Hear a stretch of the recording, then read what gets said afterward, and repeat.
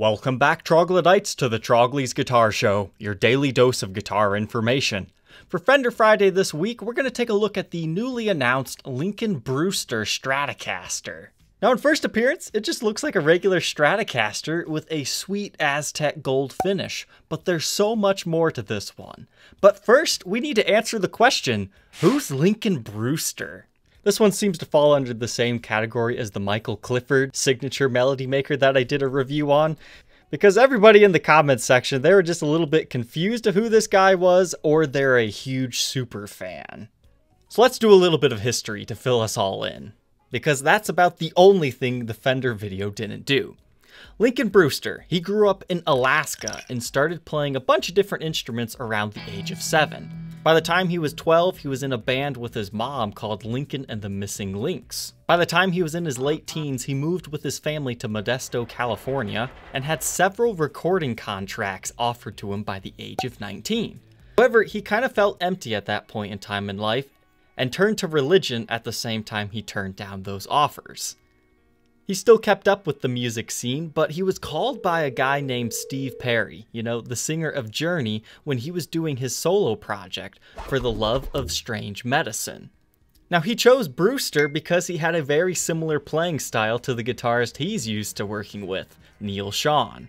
So Brewster toured with him for six months between 1994 and 1995 before moving back to California with his wife, where he worked as a sound technician to his church, eventually became the youth worship leader and associate music director.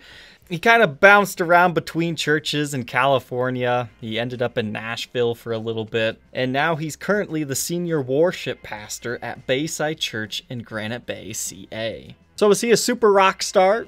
Not necessarily, but he's definitely made an influence to many people, and I think this is a great way for Fender to kind of get into a niche market and seeing the unsung heroes. So that's right, Fender just gave a church pastor a signature guitar. Let's learn about it. So this is kind of based off of a 57 style Stratocaster. He opted for an ash body, paired with a maple neck and fretboard with a compound radius, going from 9.5 up in the chording area all the way up to a flatter 14 inch radius so the notes don't fret out on him. He also had them do an extra fret, 22 frets. For the pickups, he's rocking a DiMarzio Area 58 in the bridge, which is a little bit hotter than the other two pickups, the Area 61s. These pickups are said to offer the vintage single coil tones without the vintage style hum. As far as the tremolo unit, he decided to go for the two-point design feature with the bent steel saddles, and you can adjust the tightness of the tremolo arm in the back. And he went for a vintage style locking tuners with short posts so they don't look out of place. Just looking at them here, it doesn't even appear that they are locking tuners. That's kind of cool. But if you move on to the back here, you can also see he had them contour the heel joint just a little bit. So it's a little bit easier to play higher up in the registers of the neck.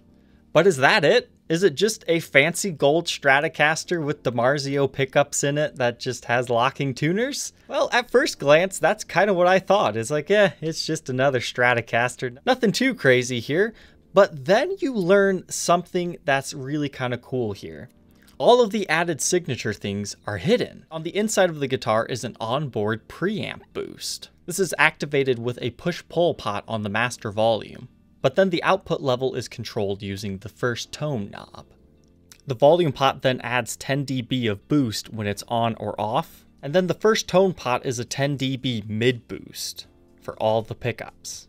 And why these controls are kind of interesting is he says if you use the tone pot on the bridge pickup and roll it down to about a 7 and then have your mid boost at a 6 or a 7, it makes the single coil sound like a humbucker. So now that we know all about this guitar, let's go ahead and hear some playing samples by Lincoln Brewster.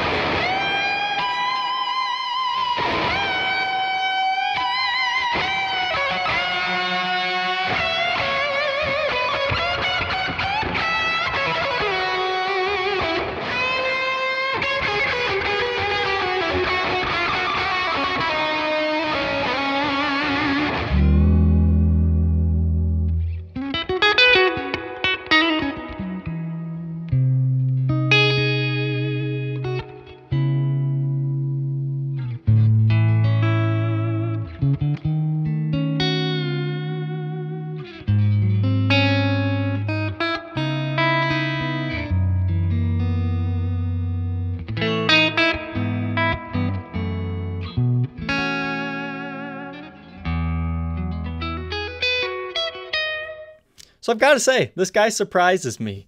Just looking at him, not knowing who he was, I wouldn't have guessed he was a pastor or anything. The way he talks and his mannerisms definitely make sense to me now, but man, his playing is fantastic. The only question left would you rock the Punky Brewster? Wait, Lincoln Brewster, Fender Stratocaster, or not? Leave your answer down in the comments section below, and we will see you tomorrow on the next episode. Take care.